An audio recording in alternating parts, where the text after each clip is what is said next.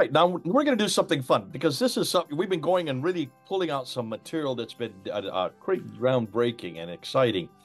We're going to kind of go back and put our feet up and put throw some things out there that you may not agree with. We're not even sure if we agree with, but this is new research done by AJ Deus, a good friend of Mel's. I don't know him myself. I've only seen some of his material. He's from Europe and he has been doing some amazing research. And this is part of his research, looking at possible candidates for who these Muhammads are. Remember in the last episode, we said that there were a number of Muhammads between six uh, 641 and 730, that roughly 100 year period, 90 to 100 year period, that the, both John of Damascus and the Chinese are referring to. So, who are these Muhammads?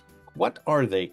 Are they really real people? Are they uh, are they uh, people that we cannot recognize? Let's see what AJ Deus and I'm going to have Mel. You're the one that knows this material. You've been working with him.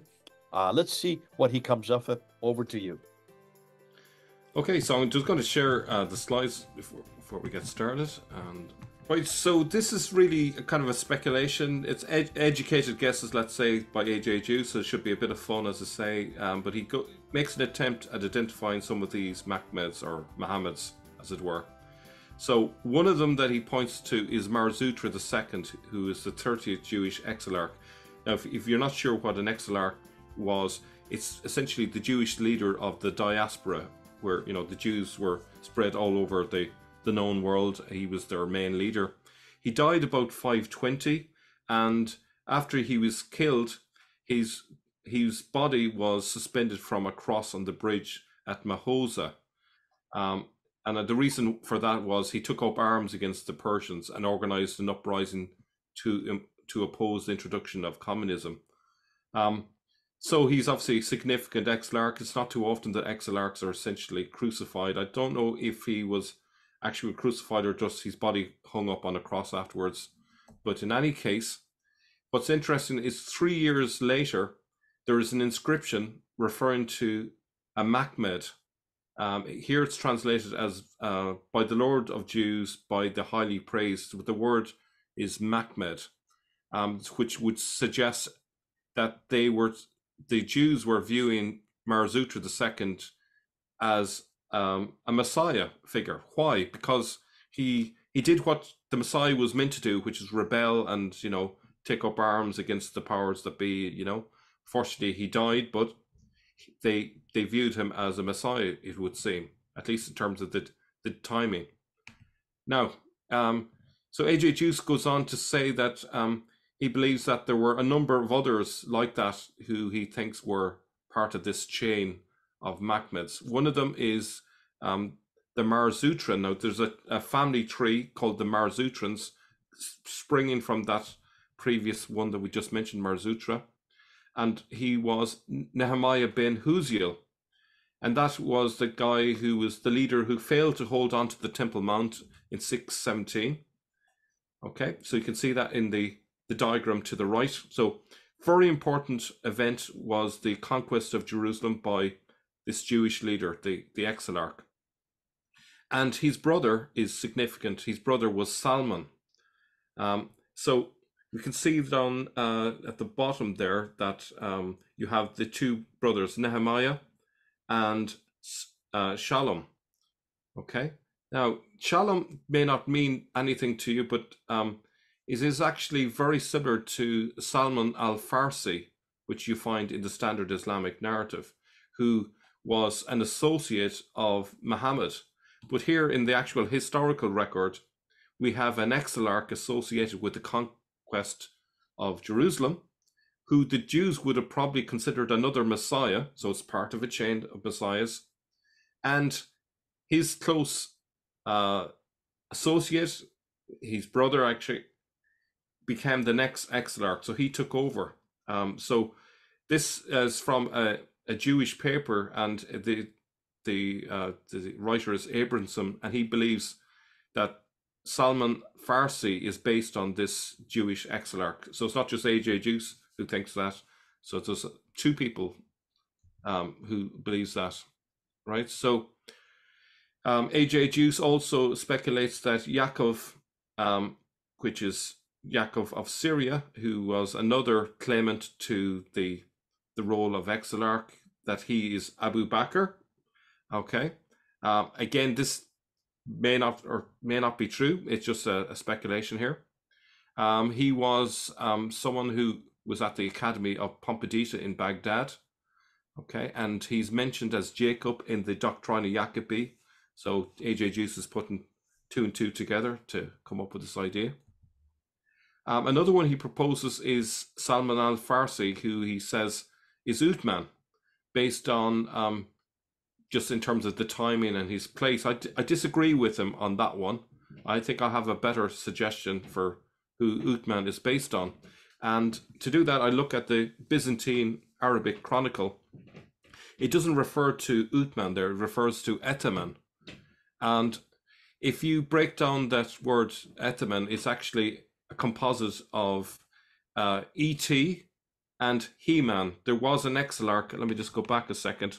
You, uh, let me see if it's in here. It's uh, down at the, the left-hand side of this diagram here. You'll see He-Man the first, the 38 Exilarch, um, which his um, time when he reigned is in the right time frame for Uthman. So my suggestion, I'm going against AJ Deus again. It's speculation, is that perhaps um, Etman, uh, Etman that's mentioned here is actually He-Man. Just the name is just transformed a little bit, and then it became from Etman to Uthman later. Um, I've I've even gone a little bit further and suggested that perhaps the ET is re- reference to the fact that he was an exilarch temporalis, a temporary exilarch, and that's where it came from. So, as I say, this is just a bit of fun, bit of speculation, but that might work in terms of trying to make sense for where they got these characters from. But it's very different to the standard Islamic narrative because these are just Jewish leaders. It's got nothing to do with Islam. Um, and so uh, AJ Deus um, refers to He-Man in his paper, and he identifies him with Abdullah ibn Saba, the builder of the first permanent mosque, the Masjid as-Salam on the Temple Mount. Um, he is also, according to AJ Deus, Abdul Allah ibn al Zubair, uh, another Muhammad. Um, as I say, I, I don't think he was that figure, but that again, it, it opens up the possibility at least there. Um, so AJ Deus goes on to say that the Marzutran lineage carries the title of Muhammad with Proto Islam. Mar Zutra II was Muhammad, therefore Nehemiah bin Hushiel was Muhammad, Therefore, his brother Salman al Farisi was Muhammad, and so on. So that's his idea. Um, he also uh, mentions Hisdai the second, the fourth Exilarch, as another uh, possible Muhammad. So we have a chain of them. Um, he also refers to Bustanai, who um, his his family w- were considered unclean because they married into the um, the, the Persian family line. Uh, and so he's referred to as unclean as a result of that. Um, so this is a summary here of the chain of Muhammads. These are just some that AJ Deus suggests are Muhammads. Um, and so that's it, Jay. I'll just go back to you there. So basically what you're saying, and I'll just so people follow you here because you're putting an awful lot of information, but this is good information. This is what AJ Deus is saying. Let me just go through it real quickly in summary. So Mar Zutra that you say is probably the of of the name the number of uh, Muhammad's it could be he would put him down as the first one. He died in 5 520 so that's a 6th century. Then we come into the 7th century and we come with Nehemiah the second which you have there Ben Hushiel and he died possibly 614 to, or 617 we're not really sure of that date but now we're in the 7th century. And then you go to Hanamel who is also known as Shalom that AJ Deus believes is Uthman. You say probably Haman the first.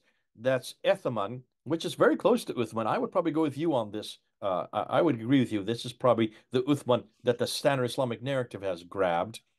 And then after him comes Yaqub of Syria, who dies in 643, and that this is the same person as Abu Bakr. Abu Bakr that the, the Standard Islamic narrative uh, uh, demands or puts as their first caliph.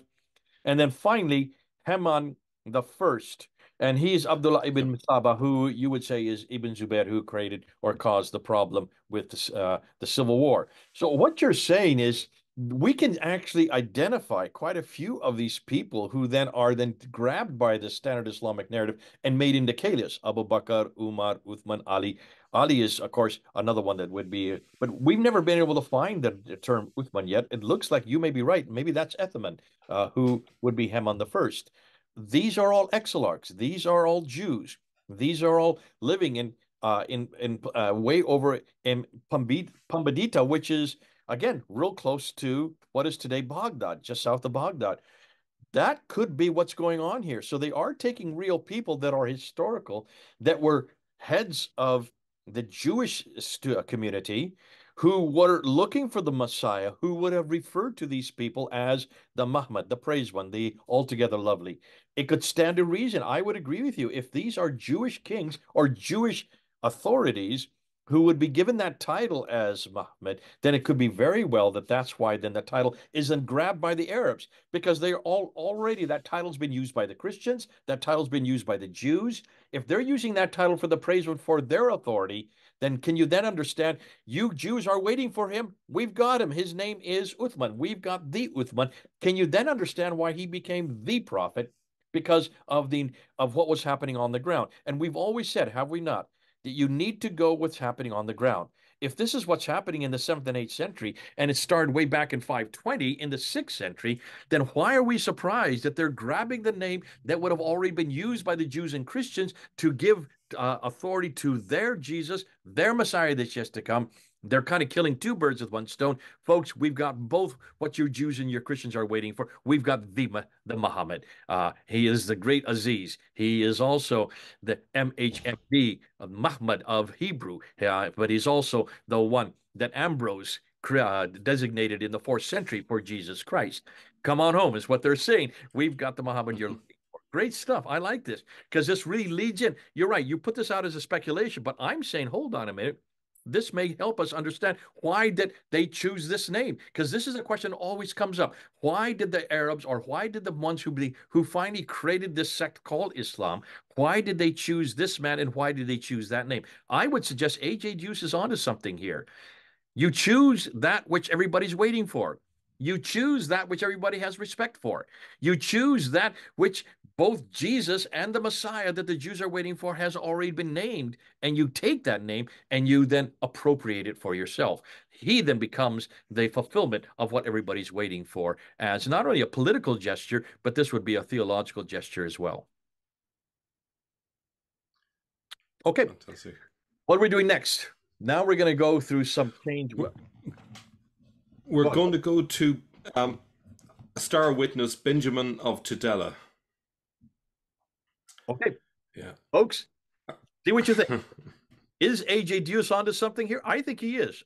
I think this is really an exciting one because this suddenly answers the question that many people are saying then why did they choose Muhammad? Why did they give him that name? Why was that name given to him? And why is it from from that time on, Muhammad is the man we look as the greatest of all paradigms, the greatest of all models. Well, who do you think the the Arabs need? They need a model. They need a prophet who has a revelation that can compete with that which the Jews and the Christians are still waiting for. We're still waiting for the Messiah to relate return.